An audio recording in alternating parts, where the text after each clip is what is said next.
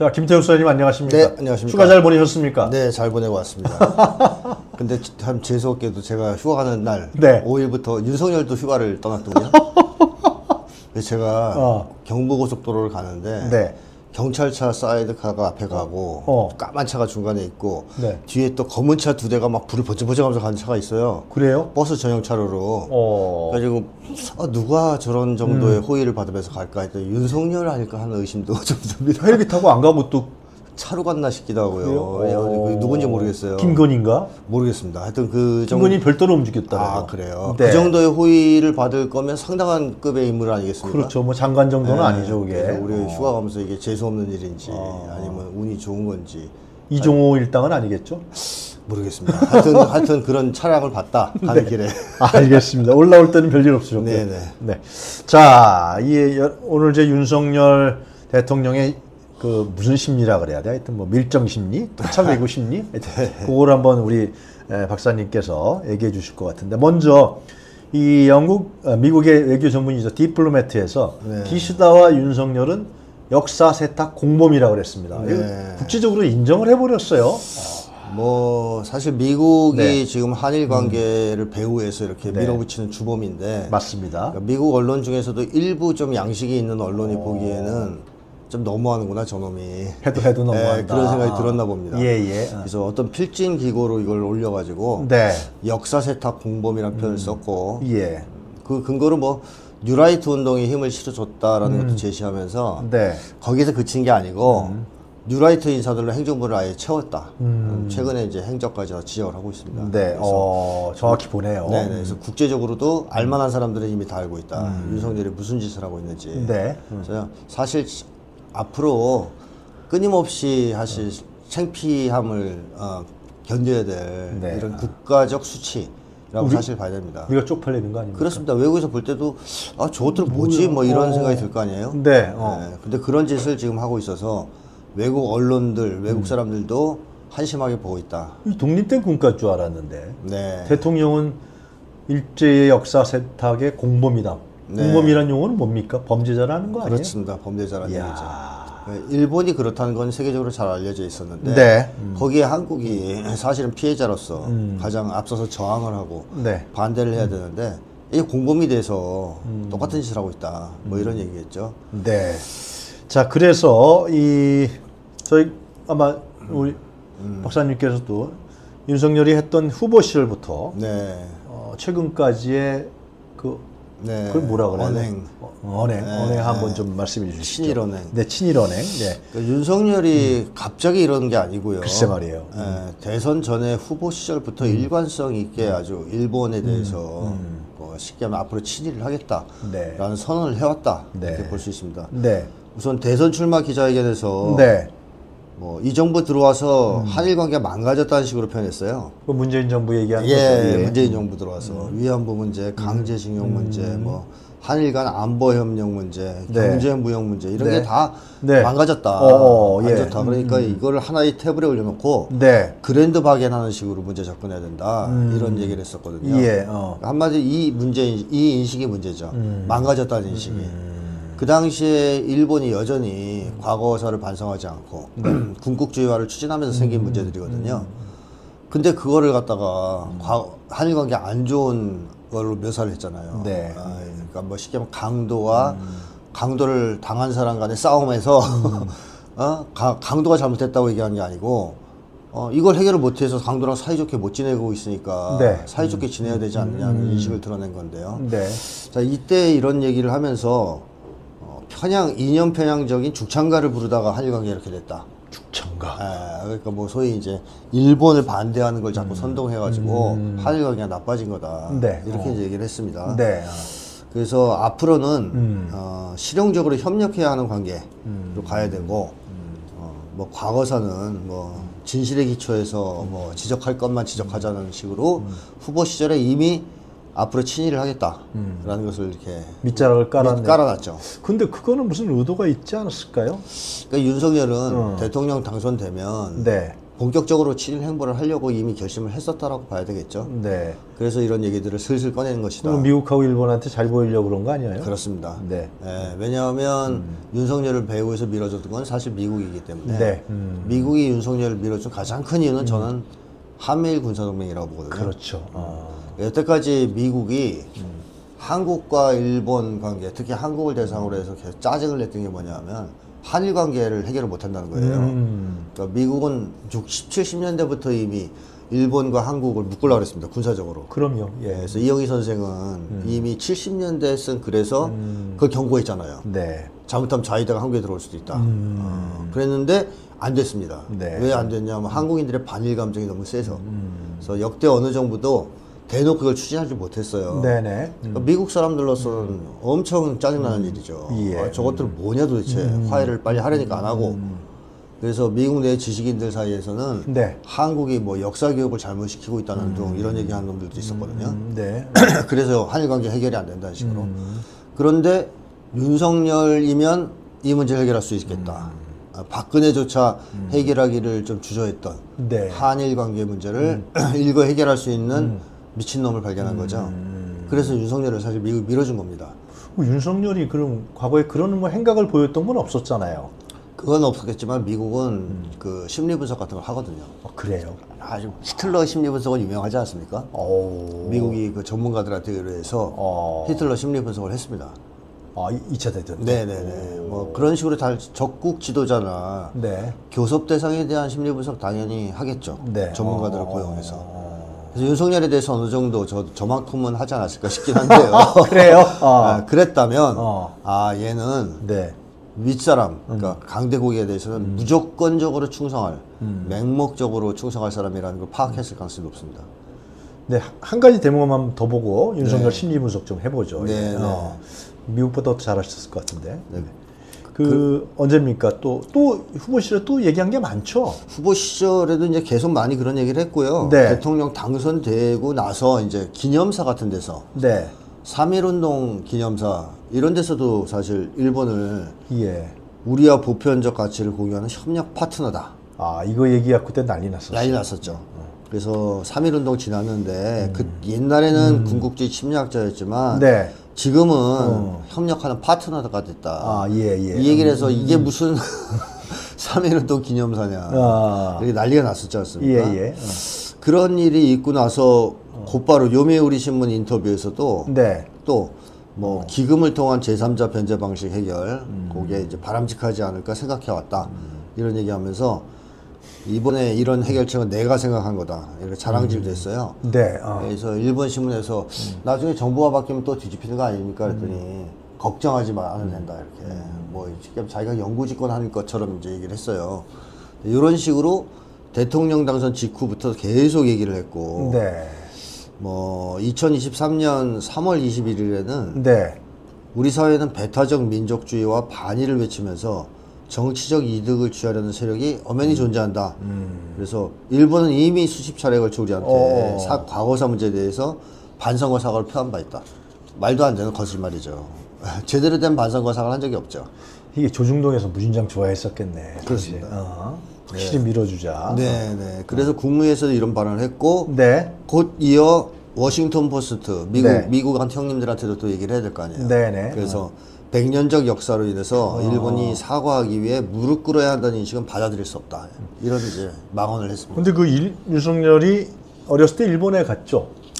어렸을 때 갔다는 얘기도 있었고, 그 아, 젊었을 때인가 사춘기 때 갔다는 얘기도 있었고, 어. 언제인지 정확히 좀 모르겠는데요. 아버지가 그 일본 유학을 했잖아요. 문부성 장학생이 1호예요. 예, 1960년대 후반 일본에서 유학 중이었다 그러거든요, 아버지가. 67년도랄까. 아, 예. 네. 어. 그럼 그때 윤석열이 몇 살입니까? 67년이면 67년이면은 어렸을 때죠. 어렸을 때입니까? 60년생이에요, 윤석열이. 아 그래요. 네. 아, 아. 그러면 어렸을 때네요. 어. 그러면 이때 찾아가면서 지금도 히토츠바시 대학이 있던 거리가 눈에 선하다. 뭐 이런 식으로 아버지가 있었던 오. 그 거리. 이러면서 회상을 해서 일본에 대한 인상이 그때 어땠냐 네. 이렇게 묻자 선진국답게 아름다웠다. 그 당시 이제 윤석열 인식은 한국은 후진국. 어. 60년대니까 좀 아, 그랬겠죠. 그렇죠. 그럴 수밖에 없었겠죠. 60년대면 저도 70년대 어린 시절을 보냈는데 네. 일제 샤프가 선망의 대상이었던 시절 아닙니까? 음, 아, 일제 샤프, 워크맨 뭐 이런 거. 그러니까 일본은 마냥 선진국. 음. 일본만 가면 뭐 밥솥도 사오고 뭐뭐 사오려고 난리를 났, 쳤었던 네, 기억이 네, 있어요. 그러니까 윤석열이 볼 때 뭐 당연히 이제 선진국이라고 봤을 테고 한국 후진국으로 봤을 거고요. 음. 네. 그래서 아름다웠다. 그래서 일본인들에 대한 칭찬도 했어요. 어, 뭐라고요? 일본인들이 무슨 일이든 정직하다는 것을 느꼈다 이렇게. 어. 이건 아주 피상적인 인식인데요. 어릴 때 했던 자, 한국인들에 대해서 이런 얘기 안 합니다 윤석열이. 음. 그래서 어쨌든 요 대목을 보면 네. 어려서부터 일본을 어, 좋아하거나 숭배하는, 동경하고. 숭배하는 아. 그런 심리가 형성됐을 가능성을 배제할 수 없을 것 같습니다. 음, 이게 1967년이면 1965년도에 한일 국교 정상화가 이루어졌잖아요. 네, 네. 그때 뭐 제2의 4.19다 그래갖고 엄청난 반대와 네, 반대. 저항이 있었는데 네. 박정희가 밀어붙입니다. 맞습니다. 그래서 제 기억으로는 박정희가 그 일본 방문을 못해요. 네. 워낙 아, 이 거세서. 거셌던 시절이었기 네. 때문에 그런데 문부성 장학생 1호로 간단 말이에요. 네. 부친이 네. 아, 뭐 자꾸 하셨지만 참 이건 대단한 그렇죠. 뭐가 없으면 못 가는 거라고 생각합니다. 그렇다고 진짜. 봐야 되겠죠. 예, 어, 어쩌면 일본이 이때부터 본격적으로 네. 그 한일 관계 개선을 반대하는 아. 학생 시위가 활, 막 폭발하자 네, 한국의 밀정들을 키워야 되겠다고 생각했을 수 있습니다. 맞습니다. 예, 그게 적극적으로 어, 어. 사람들을 물색해서 받아들였을 수 있거든요. 그 유학 제도가 원래 그런 거 시초예요. 네, 맞습니다. 그래서 이 윤석열 아버지가 이제 가게 된 건데 네. 뭐 어떤 분들은 그런 얘기를 하는 분들도 있잖아요. 그러니까 아버지한테 맨날 고모수로 맞고 자랐는데 아버지가 일본을 좋아했다고 어. 지도 좋아하냐. 어. 오히려 아버지에 대한 반감 때문에 그렇죠. 일본을 싫어할 수도 있는 거 아니냐. 네, 어. 이런 얘기를 하는 사람도 있거든요. 네. 근데 그거는 성장 과정에서 음. 예를 들어 아버지가 이렇게 폭력적인 사람이다. 네. 근데 이 아들이 그런 아버지에게 맞서서 계속 저항을 했다, 싸웠다. 음, 음. 이러면 그게 맞아요. 그렇지. 예, 그러면 반이 그러면 뭐 인격 형성이 되는 예, 거지. 인격 형성에서 반대로 아버지와 가- 다른 입장을 가질 수가 그렇죠. 있어요. 예, 예. 근데 윤석열은 저항을 한 적이 없습니다. 제가 가짜 모험생이라고 계속 분석을 네, 해왔지 않습니까? 네, 네, 네. 충실하게 아버지한테 복종하면서 매를 맞으면서 자란 아들이에요. 이렇게 될 경우에는 공포 때문에 그 아버지의 이념이나 가치관을 받아들입니다. 동일시해요. 아, 동일시하게 되는 거. 네, 그거를 최초로 언급했던 사실 심리학자가 프로이트죠. 아, 뭐라 그랬습니까? 프로이트가? 오이디푸스 이론이라고 아, 거예요. 오이디푸스. 그게 아. 그 얘기예요, 사실. 아, 그렇습니까? 아. 오이디푸스 이론은 성욕설의 기초에서 얘기를 해서 네. 이제 듣다 보면 화가 나는데 그걸 빼고 보시, 보시면 돼요. 네. 성욕설을 어. 빼고. 네. 그러니까 어, 요지는 이거잖아요. 네. 원래 남자애는 어머니를 좋아하게 돼 있다. 예. 근데 뭐 좋다 이거예요. 어머니는 맨날 잘해주고 어, 뭐 아버지 맨날 네. 패는 놈이라고 쳐요. 그래서 아버지를 미워하고 어머니를 좋아할 수 있죠. 네. 음. 근데 결국 프로이트는 그 아이가 아버지와 동일시한다 그랬습니다. 음. 그래서 그 이유를 뭐라고 들었냐면 거세 공포라 그랬거든요. 오, 그래요. 네. 오. 근데 이제 거세 공포는 그야말로 성욕설에 기초한 주장인 거고 성욕설의 내용을 빼면 음. 네. 핵심은 공포예요. 그러니까 아버지가 무서워서 결국 아. 버지와 동일시한다고 얘기하는 거예요. 아. 어머니가 아니라. 아. 그리고 이걸 좀 더 본격적으로 성욕설을 빼고 얘기한 학자가 네. 에리히 프롬이죠. 아, 그렇습니까? 네, 에리히 프롬은 명확하게 얘기했습니다. 공포로 인해서 어. 자기한테 반대되는 이념까지도 받아들이게 돼 있다. 어, 사람들은. 어, 그렇구나. 네, 그런 얘기를 했습니다. 그래서 저도 이 공포가 네. 굉장히 중요한 음. 그 어떤 이념이나 가치관을 중안해서 결정적인 영향을 미친다고 보거든요. 그것이 결국 독재 정권의 어떤 이데올로기라든가 그렇습니다. 다 그 통용된다고 봐야 되겠네요. 맞습니다. 독재 정권이 국민들을 지배하는 중요한 어떤 심리적 메커니즘이 될 수 있는 거죠. 그게 공포군요. 네. 근데 이제 가정에서는 가정에서는 아버지가 그렇게 무서우면 어. 거기에 저항하지 못한 아이들은 아. 대체로 아버지랑 똑같아져요. 그러니까 아버지처럼 강하고 무서운 사람이 숭배하는 나라예요. 어. 그럼 얼마나 대단하겠어요 어린 시절에 그 나라가. 네. 그러니까 엄청나게 큰 국가로 이제 비춰졌을 가능성이 높죠. 네. 그래서 윤석열의 이 친일 심리는 네. 이미 그때부터 싹이 텄지 않을까 네. 이렇게 이제 어. 생각이 되고요. 네. 그 다음에 한국 사회에서 이런 정도로 지금 윤석열 정권이 막 나가는 네. 데에는 뉴라이트가 있지 않습니까? 맞습니다. 예. 뉴라이트. 음. 그러니까 뉴라이트라는 집단 이제 지금은 뭐 윤석열 정권을 완전히 장악했다고 봐야 어, 되는데 이게 뭐다 장악했더라고. 네. 디플로매트에서 인정할 정도 아닙니까? 예. 뉴라이트 인사들로 행정부를 채웠다고. 국사편찬위원회 한국학중앙연구원, 네, 문부과재단, 맞습니다. 뭐, 야, 이번에 독립기념관장까지. 독립기념관장에서 활용점을 딱 찍어버렸어요. 네. 어. 이 뉴라이트의 특징을 좀 보면요. 네. 이제 과거의 이 우파하고 좀 다릅니다. 네. 한국은 전통적인 면에서의 우파가 음. 없어요, 사실은. 고전적인 의미에서. 왜냐하면 우파는 보통 어떤 걸 대변해서 나오냐면 자국 독점 자본의 이익을 대변해서 형성됩니다. 그렇겠죠. 그러니까 독일이나 영국이나 다 그렇죠. 자기네 나라 독점 자본이 있을 거고 그렇죠. 그 독점 자본가들이 국가를 장악하지 않습니까? 그게 바로 이제 어떻게 보면 우익 세력이거든요. 네. 보수 세력. 예. 그 이익을 지키려고. 그 얘들은 민족주의 성향이 강해요. 음, 그렇지. 국가주의나. 가- 독점 자본. 왜냐면 자국 독점 그렇지. 자본을 아. 채려고 하니까. 아. 그래서 영국 독점 자본과 독일 독점 자본이 충돌하는 게뭐 2차 세계대전 이런 거 아니겠어요? 음. 그래서 사대주의적인 독점 자본은 없습니다. 아. 우파는 없어요, 원래. 어. 근데 지구상에. 근데 한국은 이 우파가 한국 내에서의 자본주의가 발전하고 독점 자본이 형성되고 재벌이 형성되고 어. 네. 어. 그 사람들에 의해서 만들어진 우파가 아닙니다. 네. 처음부터 미국이 한국을 점령해서 해방 이후에 네. 어. 정치인 따로 키우고 음. 매판 자본가를 따로 키웠어요. 음. 그러니까 재벌도 미국이 키웠고 음. 정치가를 따로 키웠습니다. 그러니까 이 정치가들은 처음부터 한국 독점 자본의 기초에서 만들어진 집단이 아니에요. 음. 거꾸로 네. 한국의 독점 자본을 좌지우지했던 음. 그런 사람들입니다. 아. 그래서 한국은 보면 독재 정권이 과거에 네. 마음에 안 들면 재벌 하나 그냥 넘겼지 않습니까? 그러네요. 정말. 쓰러뜨렸잖아요. 맞아요. 네, 마음에 안 들면. 어, 정치 권력이. 네, 재벌들이 설설 지지 않습니까? 맞습니다. 지금도 뭐. 네. 잘못 보이면 무너질 수 있죠. 어. 근데 외국은 그럴 수가 없어요. 그렇지. 왜냐하면 사실은 정치인들은 이 재벌가들, 미국의 음, 슈퍼리치들의 하수인이거든요. 그 대, 짝, 네. 대리로 내보내는 자기들. 보낸 거거든요. 어. 음. 그러니까 이 충돌이 있을 수가 없어요. 근데 한국은 미국의 직계 그 음. 사대주의적인 정치인들, 그러니까 매국노들이죠. 거기에 독- 국내 독점 음. 자본이 형성되면서는 이 세력은 어느 정도 외국 자본과의 충돌을 음. 하려고 합니다. 즉 민족적 성향을 띈다는 거죠. 거기 그 식민지 근대화론자라든가 네네. 친일 사대주의자라든가 네. 이 식민지 근대화론자들은 어떻게 형성되는 겁니까 거기서 그러면은 아 이제 그 사람들이 이 뉴라이트의 이제 네. 전, 전조 아니에요. 글쎄 말이에요. 자 이제 제가 그 얘기를 하려고 좀 길게 얘기했는데? 네. 이렇게 형성된 집단이잖아요. 예. 어. 사대주의 집단이. 그래서 한국 그거는 원래부터 사대주의이긴 했습니다. 음.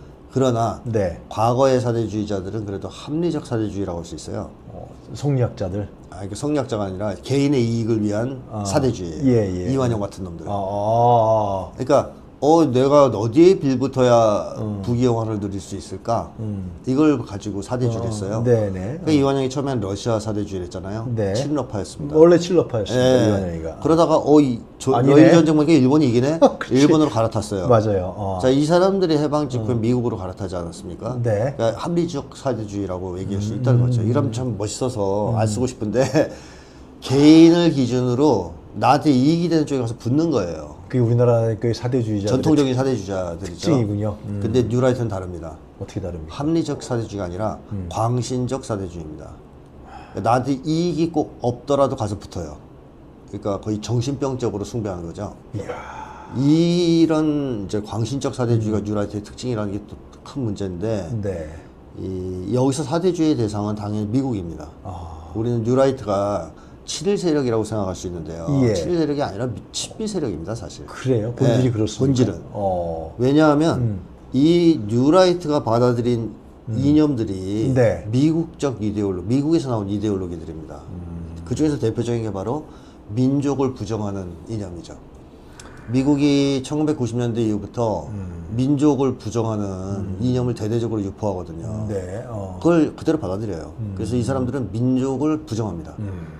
음. 그래서 광화문에서 이순신 동상을 없애고 네 그 이승만 동상을 갖다 세워야 된다고 주장한 사람들이에요. 네, 어. 그러니까 한국의 역사 따위는 민족 같은 건 없다. 음. 5천 년 역사 같은 건 그냥 국가만 있을 뿐이다. 음. 이런 식의 주의인데 이게 미국의 주장이거든요. 네네 어. 그러니까 이런 이념을 그대로 받아들이고 있는 것이 특징이다. 거기에 이 친일 부분들이 결합된 거다 결합된 거죠. 어, 어. 그래서 뉴라이트는 광신적 사대주의가 하나 특징이고 네. 또 하나의 특징은 네 극단적인 반북주의가 또 특징입니다. 아 그래요. 예, 그 전까지의 우파는 아시다시피 박정희조차 남북 협상을 하려고 했죠. 죠 예. 네, 네, 네. 어. 평화 통일을 추진하려고 뭐 했죠. 적시자 회담도 했고 이우락도 왔다 갔다 했고. 7.4 공동성명도 예, 있었고 음, 노태우도 사실은 회담하고 어휴, 싶어 했어요. 노태우는 전두환도 그- 하고 싶어 했습니다. 예, 그 점이 훌륭했었어요. 그 네, 점에 대해서는. 네, 음. 북방 외교라든가 네. 어.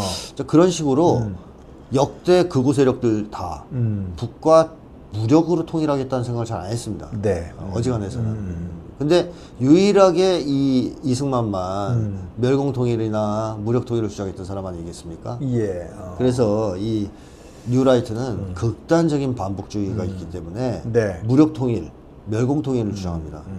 여기에 부합되는 인물은 당연히 이승만 아니겠습니까? 네. 그래서 이승만을 띄우는 거죠. 어. 그래서 이 사람들은 이렇게 등장, 이런 이념적 기초를 심리를 배경으로 등장을 해서 음. 주요하게 활동한 게 뭐냐면 자기가 친일행각을 한 것, 네. 사대주의 짓을 하는 것을 예. 합리화하는 데서 그치는 게 아니고 정당화하려고 합니다. 예. 아주 교활하더라고. 논리가 아주 교묘해. 네. 그 논리를 교묘하게 피면서 네. 친일파가 애국자였다라는 것을 공인받고 싶어 합니다. 지금은. 아예 대놓고. 그게 식민지 근대화론이죠. 예. 예, 그럼요. 본질, 예. 본질은. 어, 일본이 우리나라 경제를 예, 살렸다는 거 그래서? 우리는 거기에 협조한 거다. 어. 우리 애국자다. 해방 이후에도 그 맞- 덕분에 한국 경제가 발전했다고 마- 떠드는 사람들이에요. 맞습니다. 어. 그게 바로 자기들의 친일행각을 음. 합리화하는 데 멈춘 그치는 게 아니라 정당화하고 사회적으로 공인받고 싶어 합니다. 그러니까 한마디로 친일파가 애국자라는 인정을 받고 싶어 한다는 얘기죠. 그리고 뭐 아시다시피 이승만을 그래서 띄우는 거고요. 네. 자기들의 그런 입장을 어, 내세우려고. 네. 근데 한국 사회에 왜 이런 뉴라이트 같은 괴상한 집단이 등장했느냐 하는 건데요. 네. 그 이유는 70여 년간에 있던 적폐 청산을 하지 못한 것과 관련이 있죠. 네. 음. 70년 동안 적폐 청산을 못 하고 있다 보니까 한 번도 제대로 처벌을 못 받았습니다. 네. 음. 아, 해방 직후에 반민특위의 좌절이 이제 간 예. 뼈아픈 대목인데요. 그때부터 70년간 적폐 청산을 못하다 보니까 친일파 세력들이 한국을 계속 지배했지 않습니까? 네. 그러니까 이 과정에서 이 사람들이 간땡이가 부게 되는데 그걸 부추긴 사건이 있어요. 뭡니까? 그게 90년대 사회주의 진영의 붕괴입니다. 아. 그러니까 친일파들이 자기들이 70년 동안 한국의 주류 세력으로 버티고는 있었지만 네. 마음속으로 조마조마한 게 있었다는 거예요. 즉, 4.19 혁명이 터진다든가. 음. 아. 어, 이거 어떡하지? 그렇지. 우리 이번에 혹시 당하는 거 아니야? 아. 아, 겨우 넘겼어. 좀 있으니까 또 뭐 광주화에서 항쟁이 터져요. 네. 유골 항쟁이 터지고. 이때마다 마음을 졸이게 되죠. 네. 어. 그리고 90년대 좀 들어오면서는 친일 인명사전도 만들어지잖아요. 맞아요. 이러면서 아 이거 큰일 나겠는데 오늘 언젠가는 이거 한번 당하겠는데 처벌을 네. 받겠어 어. 라는 두려움을 가지고 있었어요. 예. 음. 이 두려움 때문에 과거에는 친일을 대놓고 얘기하지 못했고 음. 감히 식민지 근대화론 따위를 얘기하지 못한 겁니다. 음. 그런데 네. 90년대에 아시다시피 사회주의 진영 80년대 후반부터죠. 사회주의 네. 진영이 무너지자 음. 이게 사회주의 진영이 무너지는 동시에 미국의 일극 패권 시대가 시작됩니다. 맞습니다. 예. 음. 그때 자본주의권에서 나온 얘기가 이런 거죠. 역사의 종말 뭐 이런 얘기가 나왔었죠. 음. 그러니까 간단하게 얘기하면 이거죠. 인간은 원래 본성적으로 이기적이다. 음. 그래서 이기적 유전자 이런 책 엄청 팔리고 그랬잖아요. 그러니까 인간은 본래 본성적으로 이기적이다. 네. 근데 사회주의는 이 본성에 맞지 않는다. 왜냐하면 협력적인 인간을 전제로 아. 하기 때문에 아. 그러니까 자본주의가 맞는 거다. 인간 본성에. 따라서 사회주의가 망한 것은 필연이고 자본주의는 인간 본성에 맞으니까 영원할 것이다. 그러니까 앞으로 역사에 바뀌는 것은 없다. 네. 자, 자본주의 제도가 영원히 인류의 미래까지 네. 갈 것이다. 그래서 역사의 종말이에요. 역사의 종원. 후쿠야마니 뭐니 이런 아, 후쿠야마. 예, 미국 지식인들이 떠들어댔죠. 예, 예. 이 분위기가 어, 전 세계 진보 운동 세력에게 엄청난 네. 영향을 미쳤습니다. 한마디로 진보 운동을 그만두게 되죠. 음. 어, 뭐 위축되죠. 네. 특히 진보 운동에 기어 들어 있던 들어와 있던 출세분자들이 있습니다. 네, 어. 그러니까 소위 이제 진보 운동이 잘 나갈 때 80년대 막 활화산처럼 타오를 때 거기에 끼어들어서 출세해 보고자 했던 네, 뭐 네. 김문수라든가 아, 김문수. 음. 뉴라이트 인사들 뉴라이트 인사들이 사실 운동권 출신이 많아요. 많죠. 맞습니다. 하태경이. 예, 뭐. 뭐김 김영환이 이런 애들 음. 이런 애들이 어 이제 완전히 이제 세대했는데 큰일 났는데 음. 어 우리 이걸로 바- 좀 출세 좀 해보려 그랬는데 네, 어. 출세는커녕 어. 앞으로 영원히 이제 미국의 시대가 진행 어, 일곱 패권 시대가 이제 음. 앞으로 열릴 텐데 우리 인생 끝난 거 아니야? 빨리 전향해야 되겠다. 네. 이러면서 전향하기 시작합니다. 그러니까 이제 사회주의가 무너지면서 진보 운동도 거의 무너지자 안 되겠다 해서 다 전향을 한 거죠. 자 이때 이 극우 세력들은 어떤 생각을 하냐면 앞으로는 걱정할 필요가 없겠다는 생각을 해요. 그 옛날에는 4.19니 뭐 유골항쟁이니 한 번씩 터지면서 예. 조마조마 마음을 졸였는데 앞으로는 그런 일이 없겠다 이제 미국 시대가 완전히 열렸고 그렇다면 한국에서도 우리들이 영구 집권할 거 아니냐 네. 우파가 예. 그러면 왜 우리가 친일을 숨겨야 돼? 왜 우리가 마음 졸이고 살아야 돼? 아 그때부터 이제 내놓기 시작. 내놓기 시작한 거예요. 이게 이게 뉴라이트죠. 야 우리가 이제 앞으로는 걱정할 게 없는데 미국의 시대가 영원할 건데 어, 겁대가리 상실한 겁니다 이러면서. 그래서 대놓고 자신감과 오만함을 가지고 네. 우리는 애국자야. 우리를 인정해. 예. 그리고 앞으로도 친일할 거야. 어. 이렇게 나오기 시작한 겁니다. 요게 이제 하나의 배경이고요. 네. 또 하나의 국내적 배경은 네. 90년대 이후에 이제 신자유주의가 막 진행되면서 신자유주의, 한국 사회에서 신자유주의.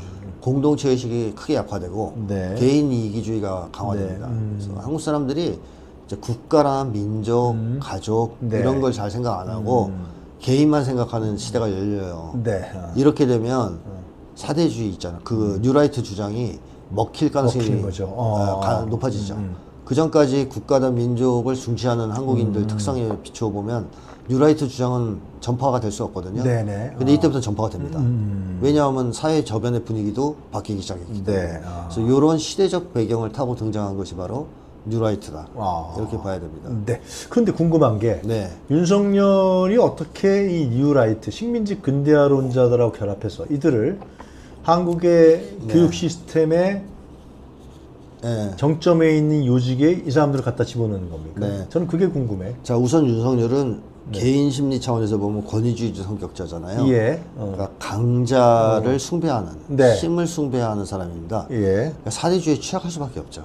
심리적으로. 그러니까 심리적으로 볼 때 사대주의 가장 취약한 성격이 이 성격일 수도 있어요. 네. 어. 어, 의전적 어, 뭐 인격 장애 빼고는. 네네. 그러니까 이런 사람들이 이제 윤석열인데 이 사람이 또 아버지가 친일파예요. 글쎄 말이에요. 어릴 때부터. 완전히 그렇다고 네. 봐야지. 문부성 장학생 이러니까. 그렇죠. 그렇기 때문에 사대주의에 빨리 경도될 수밖에 없는 거고요. 네. 한국에서 친일은 친미로 곧바로 연결되게 되어 있습니다. 예. 왜냐하면 친일파들이 다 해방 이후에 친문파가 됐기 때문에. 아. 그러니까 이승만 정권의 기반이 되었던 친일파 세력은 네. 압도적인 친미파 아니겠습니까? 해방 네. 직후에. 그러면서 어떻게 보면 한국 사회를 친일파가 장악해서 여태까지 주물러 왔다는 얘기는 네. 친미파들이 주물러 왔다는 얘기랑 통하거든요. 따라서 윤석열은 당연히 미국까지 네. 일본을 꺾은 미국. 그러니까 일본도 하늘같이 숭배하는데 그 일본을 핵으로 꺾었잖아요, 미국이. 그러니까 더 큰 나라고 더 무서운 나라 아니겠습니까? 네네. 당연히 미국 숭배까지 도 가져갔겠죠. 예. 이게 이제 개인 심리적 차원이고요. 예. 또 한 가지는 한국 사회에서 윤석열이 대통령 후보로 등장할 즈음 해서는 네. 이미 뉴라이트가 네. 전통적 극우 세력을 대체하기 시작했다는 겁니다. 전반적으로. 그러니까 우익 세력 내에서. 한국의 우익 세력 내에서 뉴라이트는 원래 좀 미미했는데 처음에는 좀 이단적인 존재였죠. 처음에는 뭐 저런 놈들이 다 있어. 근데 점점점 그 세력이 확장되면서 윤석열이 대권에 도전할 때쯤에는 오히려 상당 정도의 주류를 차지할 정도로 이 세력이 확장됐습니다. 근데 그러니까 이제 이명박 시절에 특히 뉴라이트가 맞습니다. 근데 제가 궁금한 건 대선 때나 네. 아, 그 이후에 2022년 3년도는 뉴라이트가 그렇게 전면적으로 나타나진 않았단 말이에요. 그랬어요. 예. 근데 최근에 와서 이 사람들이 전면화시키고 있다라는 네, 거예요. 네, 어. 네. 그래서 사람들이 지금 독립기념관장도 네. 문제가 있다. 광복회 사람들은 광복절 기념에 참석하지 않겠다 그런단 말이죠. 네. 근데 이것은 자기네의 이데올로기를 갖는 거 아닙니까? 그렇죠. 윤석열 정권의 이데올로기가 만들어지는 과정이라는 게 네, 보여지기 네, 때문에 네. 굉장히 위험하다. 아, 위험하죠. 그전에는 뭐 천공이니 뭐 이렇게 네. 떠들어댔는데 네. 음. 뭐 김건희니 뭐 해갖고 근데 이건 국가 이데올로기를 지네들이 만들어내겠다는 것이고 그렇죠. 이것은 지속될 수 있다라는 거 아니겠습니까? 아, 그렇습니다. 예. 어. 사실 윤석열은 그 머리가 비어 있는 사람이라서 네. 검찰총장 시절만 해도 네. 뚜렷한 이념성이 없었어요. 예. 어. 문재인 정권에도 가려고 그랬던 사람이에요. 예, 어. 그러니까 명확한 이념적 지향이 없었단 말이죠. 예. 예. 어. 근데 대선 후보로 등장하게 되자 예. 나름대로 이념을 이제 장착할 필요가 생겼죠. 예. 어. 머리가 비어서 이 얘기 저 얘기 할 수는 없으니까. 예. 어. 그래서 공부를 시작했는데 예. 책을 읽을 수는 없는 사람이니까 네. 책을 읽기 싫어하고 네. 유튜브로 주로 공부를 했습니다. 네. 근데 그 유튜브를 다 그거 유튜브, 뉴라이트 유튜브만 보여준 거죠. 예. 김건희가. 어, 어. 아, 콕 집어서 음. 자 내가 운영하는 유튜브들인데 이것만 봐. 음. 너 무식하니까 이거 열심히 아, 외워. 어. 열심히 이제 외운 거죠. 네네. 어. 그래서 유, 이제 윤석열 예. 머리를 음. 뉴라이트 쪽으로 꽉 채운 겁니다. 자, 근데 문제는 음. 왜 이것이 한국 사회에서 지금 꼭 필요하냐 하면 미국이 지금 전 세계적으로 나토를 세계화시키려고 하는 네. 지금 음. 정말 치열한 작전을 치고 있어요. 네. 그러니까 미국 패권이 올라가다 보니까 음. 이거 막아야 되는데 힘은 없고 그러니까 결국 생각해낸 게 겁니다. 우리 아직도 부하라고 할 수 있는 우리 말을 들을 수 있는 나라들을 탈탈 긁어서 음. 동맹으로 다 만들자 군사 동맹으로. 그래서 나토에 세계합니다. 쉽게 얘기하면. 네, 그렇죠. 그래서 이- 얼마 전에 워싱턴에서 열렸죠. 네, 맞습니다. 그래서 나토의 세계화에서 아시아 쪽 나토를 먼저 만들어서 합쳐야 되는데 유럽 쪽 네, 나토랑 아시아 나토의 주축은 한미일입니다. 한미. 아, 한미가 아니라 한일. 한일. 한일 군사동맹입니다.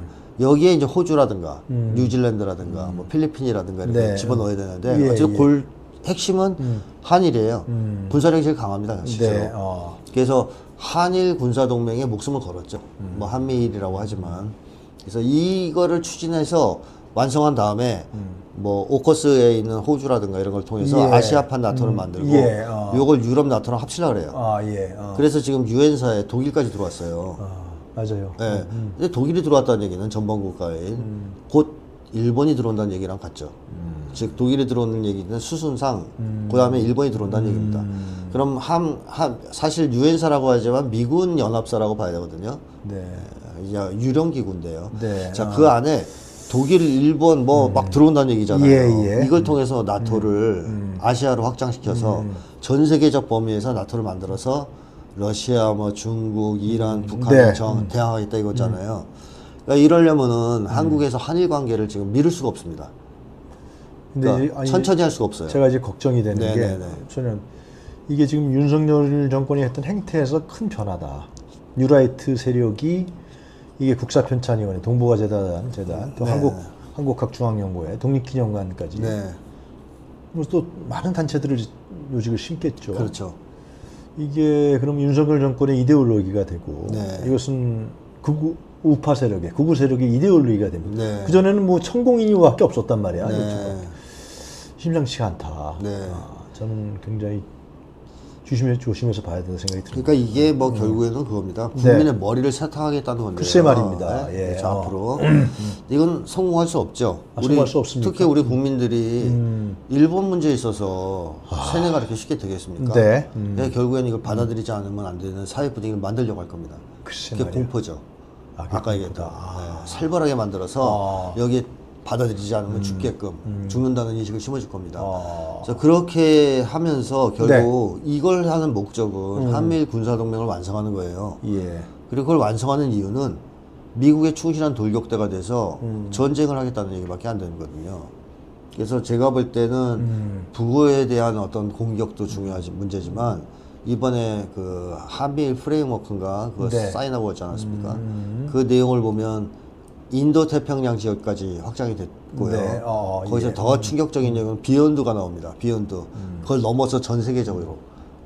그러면 한국군이 앞으로 네. 이 한반도에서의 문제만이 아니라 대만 문제는 당연한 거고 네. 우크라이나나 중동 문제까지 끼어들게 되는 그런 이제 이걸 사인을 한 거거든요. 네. 그러니까 이거를 지금 하려면 한일 관계 빨리 풀어야 됩니다. 미국 입장에서 시간을 지체할 수가 없어요. 그래서 윤석열이 무리해서라도 이걸 하는 겁니다. 알겠습니다. 아, 하여튼 참 나라가 진짜 걱정입니다. 개판이죠. 그럼 뭐 윤석열이 이 짓 하는 게 성공하겠습니까? 예, 우리 국민들의 영린을 건드리는 거 아니겠습니까? 그렇죠. 영린이죠. 이미. 예, 예, 예. 아마 우익 세력도 다 여기에 대해서 동의하지는 않을 겁니다. 이런 정도의 친일 행각에. 네, 알겠습니다. 예. 알겠습니다. 소장님, 오늘 네. 말씀 잘 들었습니다. 네. 감사합니다. 네.